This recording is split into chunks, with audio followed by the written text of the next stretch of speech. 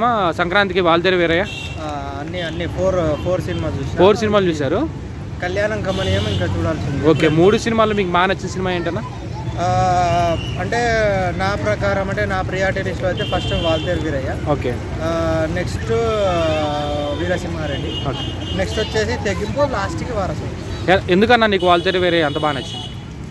బేసికల్గా నేను చిన్నప్పటి నుంచి మా mummy actually Pawan Kalyan fan అట్లా మా మమ్మీతో చిన్నప్పటి నుంచి మా మమ్మీ ఉండుకుంటూ ఉండుకుంటూ మెగా ఫ్యామిలీకి ఫ్యాన్ అయిపోయాను. మెగాస్టార్ అంటే ఇష్టము.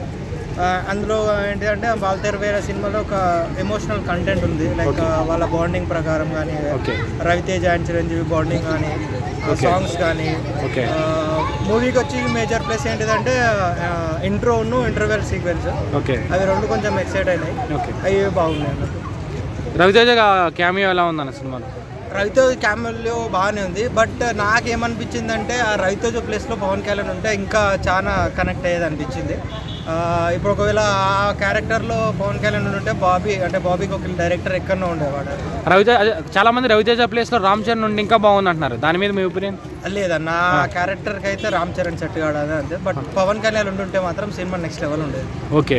ఇప్పుడు వీరసింహారెడ్డి ఎలా అనిపించింది అన్న వీరే సినిమా రెడ్డి అంటే బాగానే అనిపించింది. ఫస్ట్ హాఫ్ అంతా బాగానే అనిపించింది. సెకండ్ హాఫ్ కొంచెం లాగ్ అయింది. అంటే అంతే క్లమ్జీ క్లమ్జీ చిక్కులు చిక్కులు ఉన్నట్టు అనిపించింది అంతే సినిమా. అది. అంటే ఫ్యామిలీతో చూడొచ్చు కాకపోతే టూ మచ్ వైలెన్స్ ఓకే ఇప్పుడు రామ్ చరణ్ గారు నెక్స్ట్ ప్రశాంత్ నీల్తో సినిమా తీస్తున్నాడని ఒక టాక్ బయటకు వచ్చిందన్న.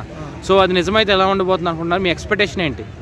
అది ఇప్పట్లో జరిగే పని కావచ్చు అనిపిస్తుంది. ఎందుకంటే ఇప్పుడు ప్రశాంత్ నీళ్ళు ఆల్రెడీ మన ప- ప్రభాస్తోని టూ పార్ట్స్ మళ్ళీ మొన్ననే ఒకటి రివీల్ అయింది రావణం అని చెప్పి. అవును. ఎన్టీఆర్తో ఒకటి ఉంది. అది రావణమే రామ్ చరణ్తో అంటున్నారు.